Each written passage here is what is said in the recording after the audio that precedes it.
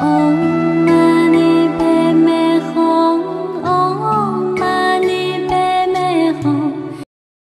Chậu cây bị mắng trong 30 ngày cuối cùng đã chết, thí nghiệm kỳ lạ khiến phụ huynh giật mình. Mặc dù ngôn ngữ nhìn không thấy, sờ không được, nhưng bản thân nó là có năng lượng rất lớn. Có một thí nghiệm kỳ lạ đã chứng minh cho điều đó, khiến các bậc làm cha mẹ phải giật mình. Ngôn ngữ có thể giết người, bạn có tin không? Ít nhất, nó có thể giết chết một chậu hoa. Hơn nữa còn để cả thế giới chứng kiến và thấy được ngôn ngữ có năng lượng khủng khiếp như thế nào thí nghiệm kỳ lạ gần đây. IKEA Hãng nội thất danh tiếng của Thụy Điển đã tiến hành một thí nghiệm tại một trường học ở các tiểu vương quốc Ả Rập Thống Nhất, UAE. Thí nghiệm này ban đầu không gây nhiều chú ý, nhưng kết quả của nó đã gây chấn động thế giới. Sau khi xem thí nghiệm này, tôi cảm thấy đặc biệt kinh ngạc vì nó phản ánh một phương pháp gây hại tiềm năng trong xã hội hiện đại. Chúng ta hãy cùng xem qua thí nghiệm kỳ lạ này, lời nói của con người rốt cuộc có năng lượng lớn như thế nào. Tại khuôn viên một trường học ở các tiểu vương quốc Ả Rập Thống Nhất, IKEA đã mang tới hai chậu cây xanh. Điều đáng nói là, cả hai chậu cây đều được đặt trong lồng kính, được chăm sóc nghiêm ngặt giống nhau với cùng lượng nước, phân bón và ánh sáng mặt trời. Điều đáng nói là, cả hai chậu cây đều được đặt trong lồng kính, được chăm sóc nghiêm ngặt giống nhau với cùng lượng nước, phân bón và ánh sáng mặt trời. Họ kêu gọi học sinh, sinh viên của ngôi trường này tới dọa nạt, mắng chửi, chê bai một chậu cây, trong khi dành những lời khen ngợi, thể hiện tình yêu thương với chậu cây còn lại. Mọi người được khuyến khích nói chuyện với hai chậu cây trong vòng 30 ngày. Khi bạn phóng to, bạn có thể thấy cái chậu bên trái có dòng chữ cây này bị bắt nạt, bên phải là cây này được ca ngợi. Họ kêu gọi học sinh, sinh viên của ngôi trường này tới dọa nạt, mắng chửi, chê bai một chậu cây, trong khi dành những lời khen ngợi, thể hiện tình yêu thương với chậu cây còn lại. Làm thế nào để bắt nạt một cái cây? Thí nghiệm này cũng không quá bạo lực. Cái gọi là bắt nạt là tiến hành tấn công ngôn ngữ vào cái cây đó. Họ đã tìm rất nhiều học sinh, trước tiên ghi lại lời nói của các em và sau đó phát đi phát lại lời nói này bên tai của cái cây. Những lời mắng chửi này chính là bạo lực bằng lời nói vốn rất quen thuộc với chúng ta. Ví dụ như, bạn là đồ bỏ đi, đồ vô dụng, bạn không xanh tươi chút nào. Bạn trông giống như sắp héo đến nơi rồi bạn không được ai yêu thích, chẳng có công dụng gì. Họ đã tìm rất nhiều học sinh, trước tiên ghi lại lời nói của các em và sau đó phát đi phát lại lời nói này bên tai của cái cây. Hai cây giống hệt nhau, nhưng nghe hai ngôn ngữ hoàn toàn khác nhau mỗi ngày. Cái cây được yêu thương, ca ngợi thì được nghe những lời như này, tôi thích bộ dáng của bạn lắm. Tôi rất vui khi nhìn thấy bạn bạn thật sự rất đẹp. Thế giới này thay đổi vì bạn bạn thật tuyệt. Một mặt là sự xúc phạm của bạo lực bằng lời nói, mặt khác là khen ngợi và khích lệ. Cứ như vậy, thí nghiệm này kéo dài trong 30 ngày. Và kết quả sau 30 ngày, sự sống của hai chậu cây là khác biệt rõ rệt. Có thể nói là bất ngờ, nhưng cũng là hợp tình hợp lý. Sau 30 ngày, chậu cây bên trái bị dọa nạt trở nên héo úa, còn chậu cây bên phải được yêu thương phát triển xanh tươi. Điều này đủ để thấy rằng sức mạnh của ngôn ngữ khủng khiếp như thế nào. Ngay cả những đứa trẻ cũng nhận ra sự thật rằng nếu thực vật có thể bị ảnh hưởng thì con người chắc chắn cũng sẽ tương tự. Và thậm chí tác động còn có thể lớn hơn. Bạo lực ngôn ngữ, kẻ sát thủ vô hình theo thống kê, mỗi năm có khoảng 246 triệu trẻ em và thanh thiếu niên bị bạo lực ngôn ngữ và bắt nạt. Nhưng bạo lực ngôn ngữ và bắt nạt không chỉ trong khuôn viên trường, nó có thể xảy ra mọi nơi ở xung quanh chúng ta. Đôi khi, để đánh bại một người, chỉ cần nói một câu. Và nếu ngôn ngữ có thể đả thương, thì lời được nói từ miệng của người thân yêu nhất sẽ có sức bị tàn phá lớn nhất.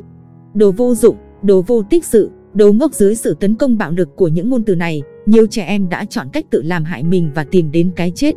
Theo một cuộc khảo sát, hơn 60% phạm tội vị thành niên đã bị bạo lực ngôn ngữ từ cha mẹ của họ.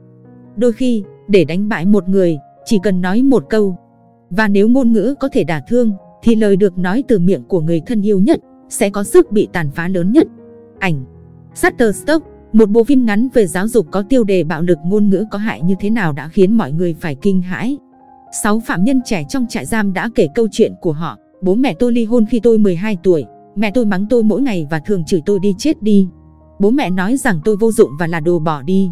Cho đến bây giờ, họ chưa bao giờ khen tôi, lời mắng tôi nhiều nhất là óc lợn, óc lợn, óc lợn. Cuối cùng, họ đã biến những ngôn ngữ này thành vũ khí của một tên tội phạm, búa, dao gọt hoa quả. Lạm dụng tinh thần ở trẻ em là một nguyên nhân quan trọng cho những tội ác vị thành niên này. Những đứa trẻ liên tục bị sỉ nhục, bị từ chối, châm biếm, mỉa mai và khinh miệt. Tất cả đều có một lỗ hổng lớn trong trái tim, chứa đầy những linh hồn đổ nát, buộc chúng phải chút bỏ sự tổn thương và tủi nhục một cách cực đoan. Những đứa trẻ liên tục bị sỉ nhục, bị từ chối, châm biếm, mỉa mai và khinh miệt. Tất cả đều có một lỗ hổng lớn trong trái tim, chứa đầy những linh hồn đổ nát. Ảnh Shutterstock Kết quả nghiên cứu của tiến sĩ Martin Tyker thuộc Đại học Y khoa Harvard cho thấy bạo lực ngôn ngữ ảnh hưởng đến các vùng não của con người, bao gồm khu thể trai, corpus callosum, khu hồi hải mã, hippocampus, một bộ phận của não trước, nằm bên trong thủy thái dương và thủy trước chán.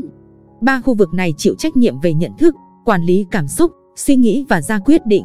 Do vậy, với những trẻ chịu bạo lực ngôn ngữ trong một thời gian dài, bộ não của chúng sẽ bị ảnh hưởng. Để thích nghi với môi trường thực tế, não sẽ phát triển thành cấu trúc chế độ sinh tồn, surviving mode, từ đó hình thành tính cách hèn nhát, kém cỏi. Những trẻ như vậy học hành chậm chạp, vận động tư duy kém trong cuộc sống, khiến cha mẹ càng ngày càng không hài lòng, càng chửi mắng nhiều. Đó là cái vòng luẩn quẩn. Tác động của những cảm xúc và ký ức tiêu cực đó là vô cùng lớn, khó mà tưởng tượng được. Nhưng có không ít cha mẹ, vì họ không thể kiểm soát được cảm xúc của mình, thường khiển trách và lăng mạ con cái, lại bao biện rằng đó là vì tôi yêu chúng. Có một câu mà các bậc phụ huynh hay nói, đó là đánh là thương, chửi là yêu. Tuy nhiên, bạn nghĩ sao khi miệng nói rằng yêu, nhưng mặt mày thì dữ tợn đáng sợ. Việc liên tục mạt sát bằng những ngôn ngữ tiêu cực sẽ khiến não trẻ bị tổn thương, từ đó dần dần hình thành tính cách hèn nhát, kém cỏi. Ảnh Shutterstock, cha mẹ, hãy học cách nói lời yêu thương. Người xưa từng nói, thiện ý một câu ấm ba đông, lời độc lạnh người sáu tháng dòng. Ngôn ngữ có một sự rung động mạnh mẽ. Đặc biệt là khi chúng ta nói lời tức giận hay gán giận, sẽ sinh ra các rung động tiêu cực và hậu quả đem lại thật khó lường.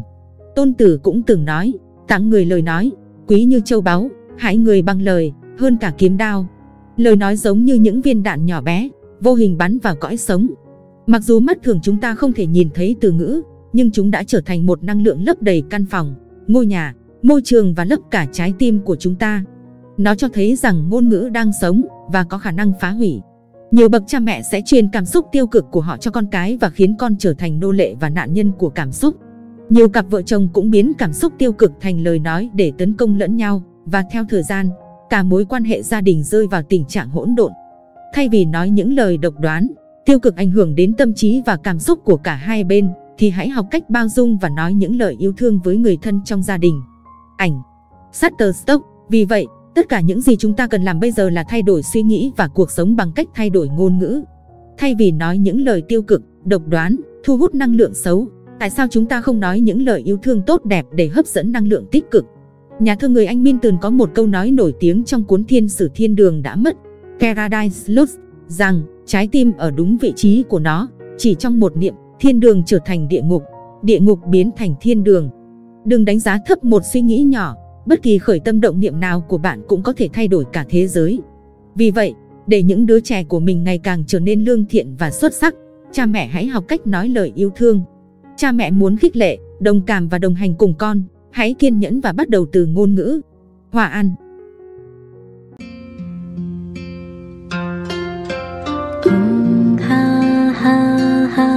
嗡萨摩帝梭诃